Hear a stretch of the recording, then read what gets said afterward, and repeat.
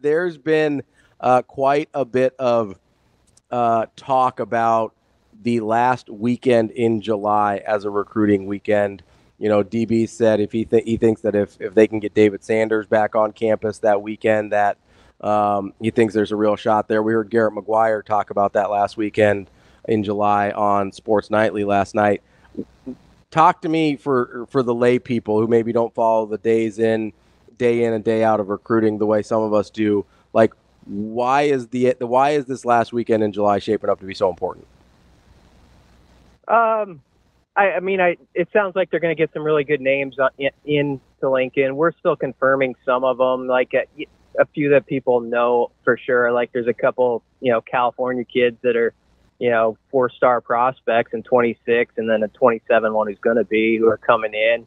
Um, so I think that, that shows you like there's a wide range on this net to where people are coming from. Like Hudson Parliament, who has one of the best names Incredible. of uh, any recruit, Incredible. um, who you want to land just for that alone, probably um, is one of the guys coming in. And then, like you say, there is buzz about like you know Sanders maybe the possibility to get him here. And um, if you do that, I mean, obviously it speaks to his level of intrigue that he would would return one more time. Uh, but you know, every time I feel like they get people in their building around their coaching staff and can show, hey, this is the family part again. Don't forget how much of a family it is over here. It always plays really well for Nebraska. So that list will get more firmed up here in the next week. I don't want to talk out of turn too much with some guys while I know a little bit's up in the air, but it does seem like stuff is really brewing for one like last big push that kind of uh, puts you in a good space with not just like a, a 25 guy, but 26, 27 guys for the future. So you're you're already kind of off and running then as you go through the fall with some of the guys a cycle or two ahead, which is always critical nowadays. BC, with the, I guess from like, uh, and and I, I understand you, you don't want to name any names and that you're not sure on, and that's that's totally fine. But I guess just like philosophically, why is it shaping up this way? Is it just that guys now are more um, kind of looking to make decisions before their senior year starts, or or just from a like, is it just a scheduling thing that it works that's worked out this way? It's good scheduling day for a lot of guys before like their their camp stuff gets going. It's Mm. sort of that in between period. Um, you know, a lot of 26, 27 guys um, who are a cycle two or two ahead are just starting to dance a little bit, right? I mean, they, they, so this is an opportunity maybe to get that first experience for a few of them of like a, a visit like that. But I just think it's kind of that perfect wheelhouse of if you know you're you're looking at a date where prospects they're kind of all camped out, but there's like this little mini period before maybe their high school stuff has started up, you know, day to day, and uh, you can get them here. And so why not? It's it's a good weekend to shoot your shot with some of those guys. BC, there was a little bit of uh, shifting in Nebraska's current commits uh, in their rankings over the. I think it was last week when when you guys released your your ratings update. I know that you personally do not make the ratings, but I I guess how much insight do you have on you know like Sean Hammerbeck, for instance, goes from a three star to a four star. TJ Lateef drops from a four star to a three star.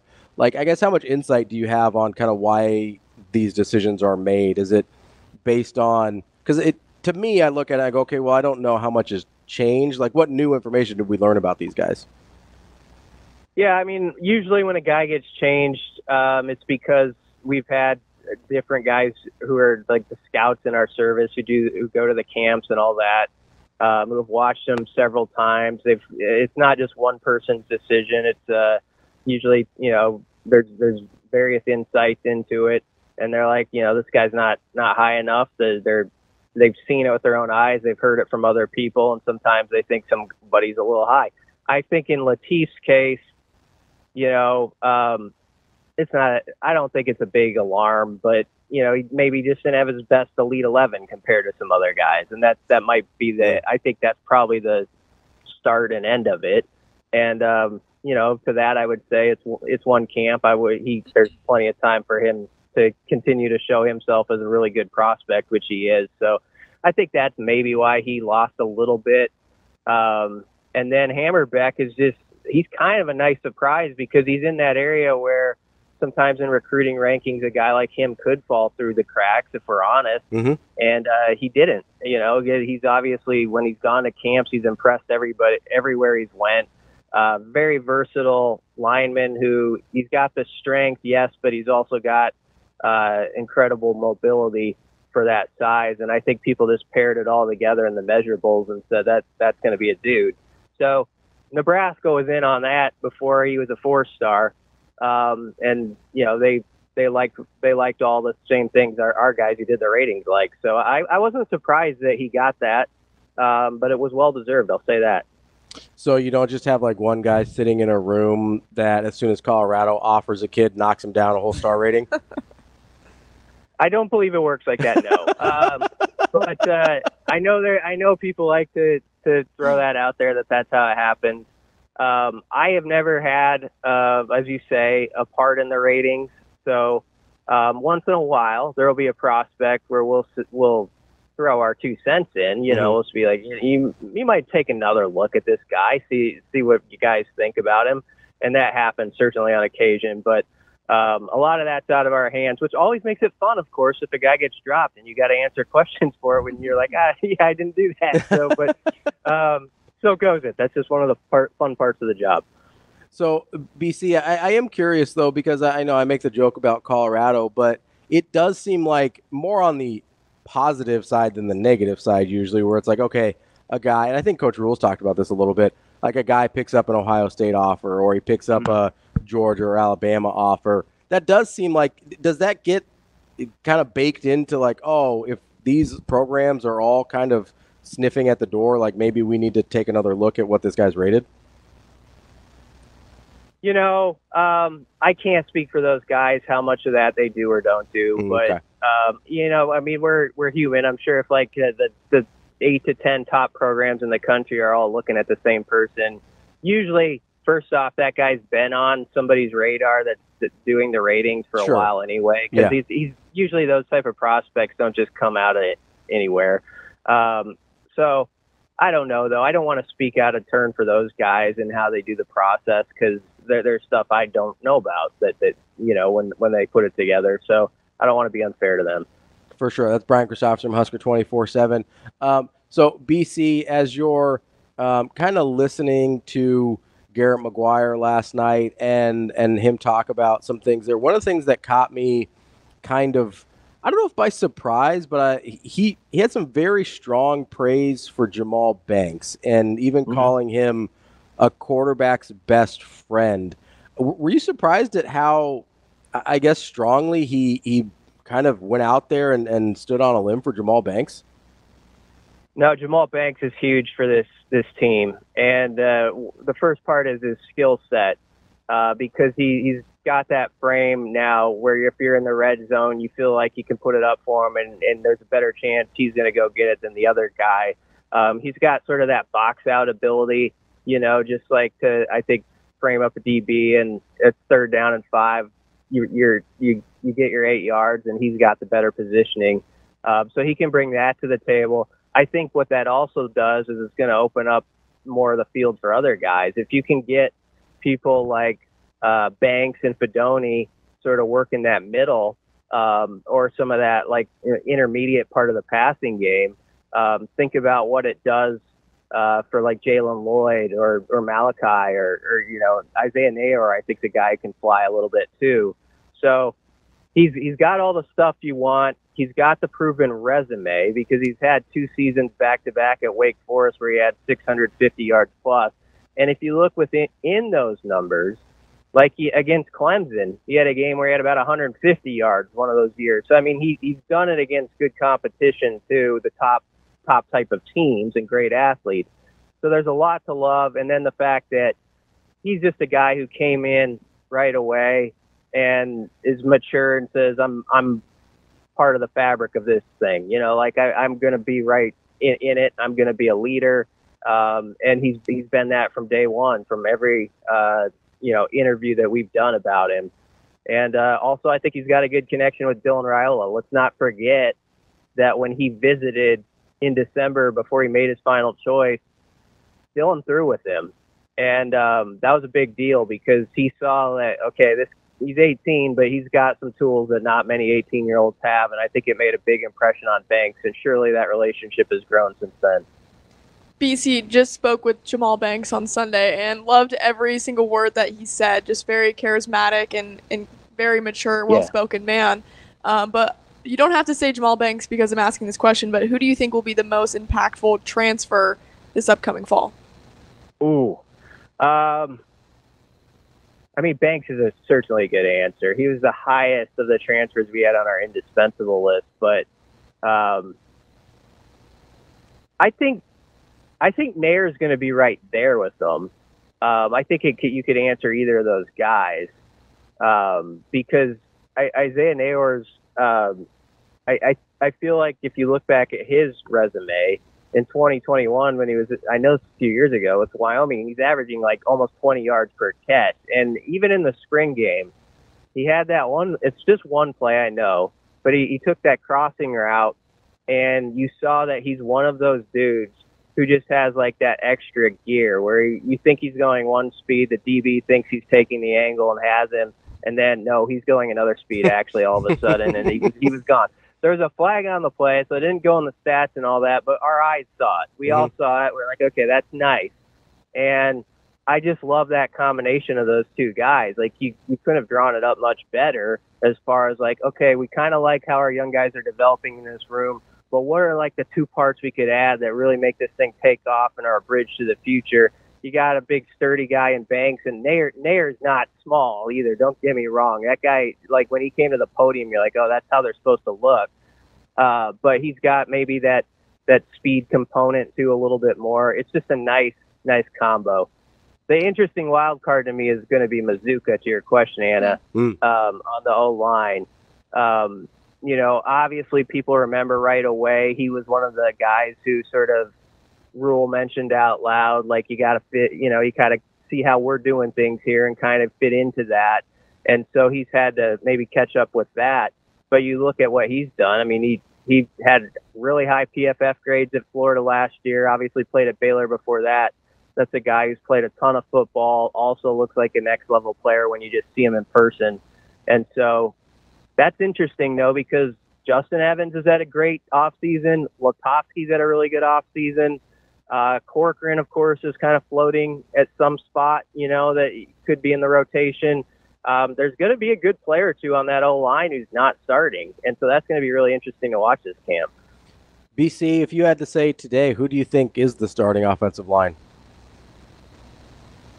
I guess I'd say is going to get in there, although I, I'm less like writing that in pen than everybody else, and maybe I'm stupid about it, but I go, I'm going by what we saw in the spring, and I kept listening and hearing how they talk about Lutovsky and Evans. But I would say uh, Prochazka left tackle. Um, oh, let's see. I guess Mazzccua, uh, Scott, I think Evans, and um, Bryce. Mm. I mean, maybe that those five, but there there could be one that's off there. Honestly, uh, Lutovsky's in that mix, and um, you know where they put Corcoran is like I, I don't think Corcoran's going to be in the front five, but he's an interesting guy because he's played as much football as anybody, and he's he's back. So um, there's some there's some good battles to be had this camp still, or where they want to, or which side they want to put certain guys to is an interesting part of it. BC, speaking of battles, one name you didn't mention, Dante Dowdell how do you think he fits into this running back room? Is it out of the question for him to be that RB one? Well, you never know. Um, just and I say you never know because I mean, let's go back a year ago. Um, you know, Emmett Johnson was obviously there were injuries that impacted this, but he was fourth or fifth. Not if, if we had had this conversation 365 days ago, and I'd said Emmett Johnson's going to like start for two months, you would have said like, don't have you probably say this a lot of weeks anyway, like don't have this guy on the radio anymore. But you definitely would have said that.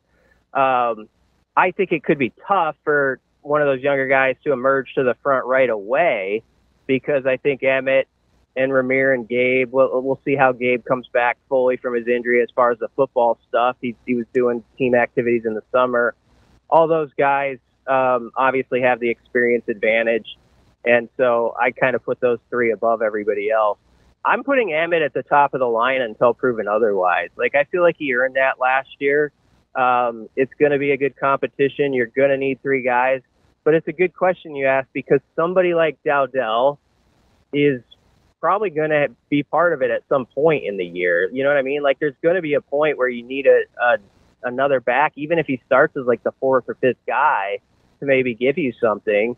And you know, Kwinten Ives is somebody that we haven't seen a lot about, but you know, this coaching staff still says we believe in him. So um, you, that's one of those positions where even if you're a guy that's sort of off the map right now, uh, maybe things are different by August 20, 20th, you know, when we're talking about it. We'll see. BC, if Blye Hill hadn't gotten injured, would we be talking more about him in this conversation as well?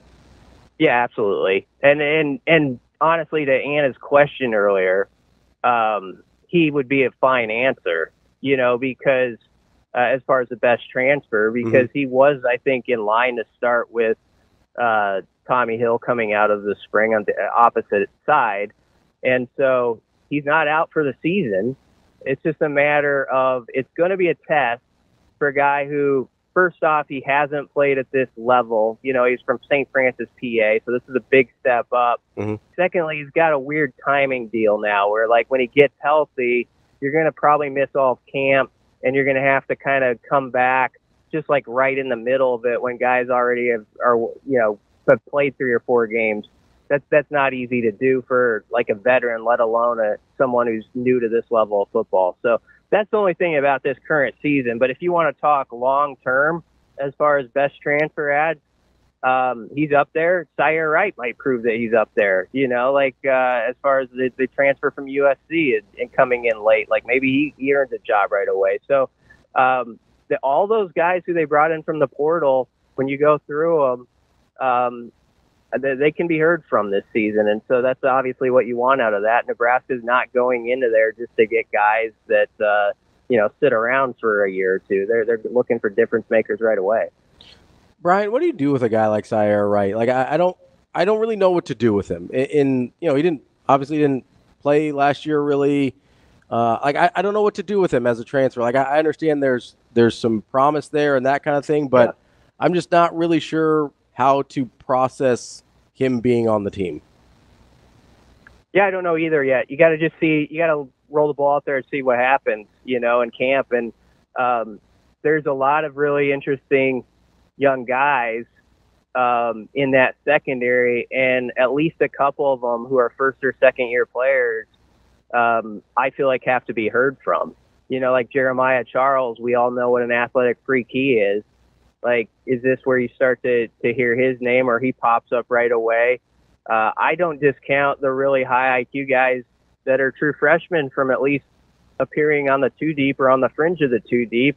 You, you know, I know Caleb's doing really good stuff, and I'm not saying that because Damon's always on here. I mean, I, I, I know, I know Caleb has jumped right in yeah. and is putting up good numbers. So uh, I think there's, there's, if I'm a young defensive back or a newcomer over there, I love the situation because it's it's open to at least compete and put myself there. Like that's all you can ask for. So maybe it's a guy like Ceyair, right? But maybe it's uh, someone who's been in the system a year or two, and now it's their turn, like Jeremiah Charles, to rip it rip it off and and be a main guy.